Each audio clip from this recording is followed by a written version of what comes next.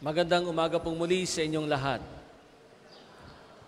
Welcome po sa Parish and National Shrine of St. Padre Pio. Meron po bang mga teachers dito? Taas po ng kamay. Yan. Happy Teachers Day po. Palakpakan po natin sila. Yan. Happy Teachers din, din po sa mga guro na nakikiisa sa banal na pagdiriwang na ito via live streaming.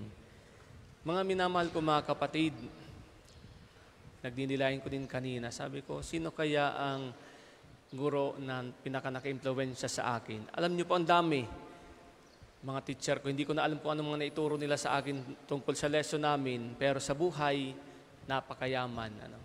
At nais kong i-share sa inyo yung isang teacher ko nung ako ay fourth year college, kami nasa philosophy.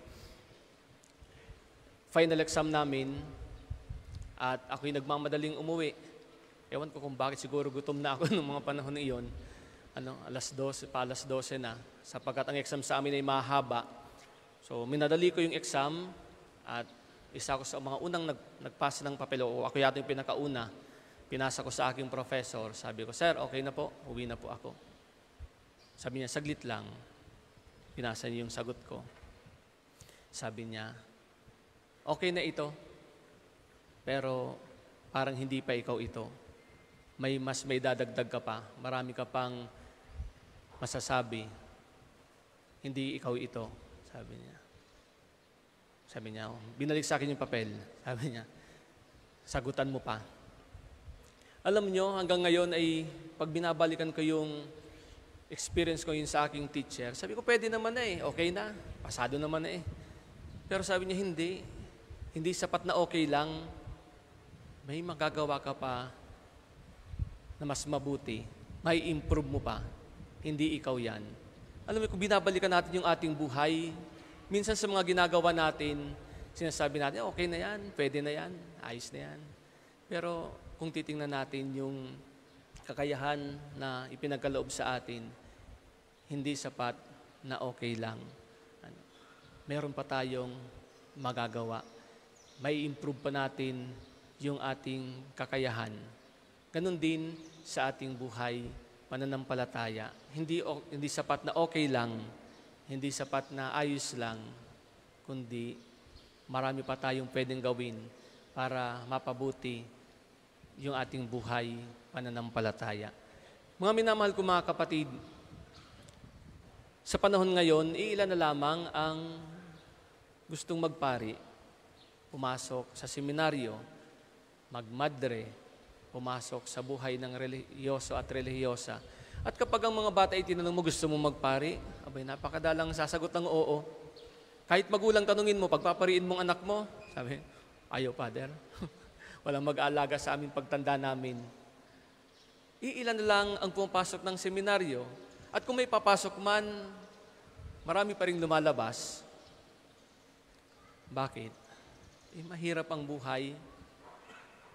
Minsan ay hindi nasanay sa hirap, ano, gigising ng maaga. Sa seminaryo, nakaschedule lahat ng gagawin.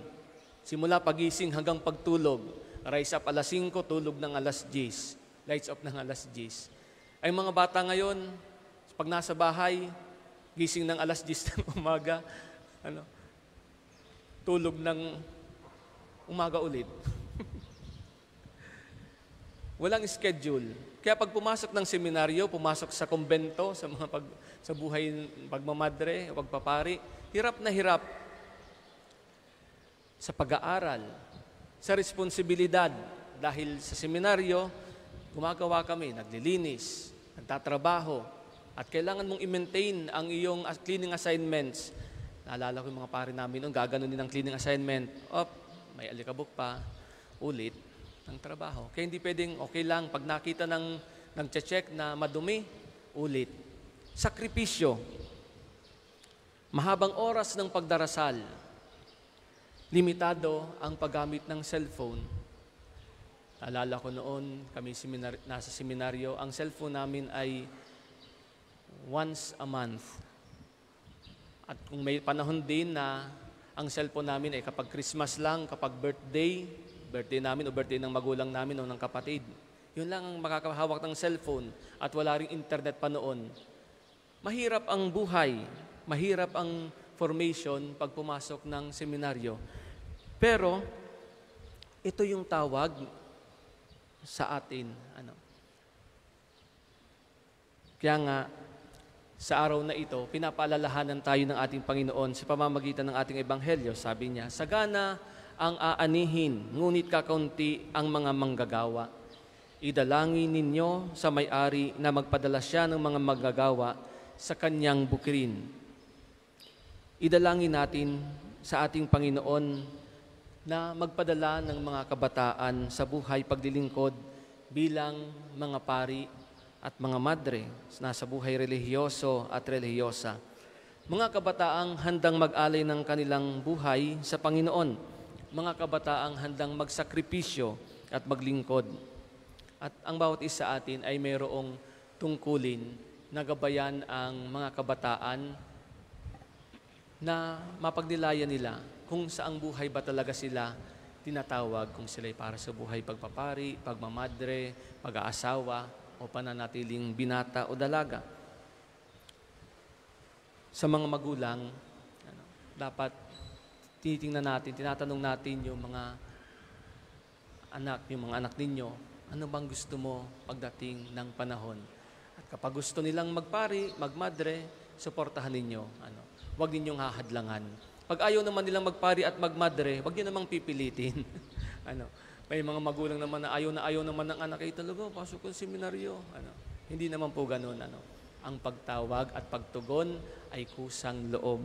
Ano, walang pilitan. Ang Diyos ang tumatawag, tayo lamang ay tumutugon. Totoo po, hindi madali ang buhay ng isang pari, ang buhay ng isang relihiyoso at relihiyosa. Hindi madali. Ang daming pagsubok, hindi madali ang sumunod sa Panginoon. Hindi madaling isabuhay at tuparin ang misyong ipinagkaloob sa amin. Laging mayroong hirap, mayroong pagsubok, mayroong panganib. At sabi nga po ng ating Panginoon sa ating Ebanghelyo, sinusugo ko kayong parang mga kordero sa gitna ng mga asong gubat. Nandun man yung hirap, nandun man yung sakripisyo, nandun man yung panganib, masaya pa rin maglingkod sapagkat ang pinaglilingkuran ay ang Panginoon. At sa ating pagtugon sa tawag ng ating Panginoon, hindi naman nagpapabaya ang Diyos. Hindi tayo pababayaan ng Diyos. Magtiwala tayo sa Kanya. Kaya mga minamahal ko mga kapatid sa pananampalataya, patuloy niyo po kaming ipanalangin, kami mga pari, ang mga nasa buhay relihiyoso at relihiyosa, na magampanan namin at may pagpatuloy namin ang misyon na ipinagkaloob sa amin ng ating Panginoon. Kailangan namin ang inyong panalangin. Patuloy nating ipanalangin ang bawat isa na tayo ay maging mabuting manggagawa sa bukirin ng ating Panginoon, anumang bukasyon ang ating tinatahak. Amen.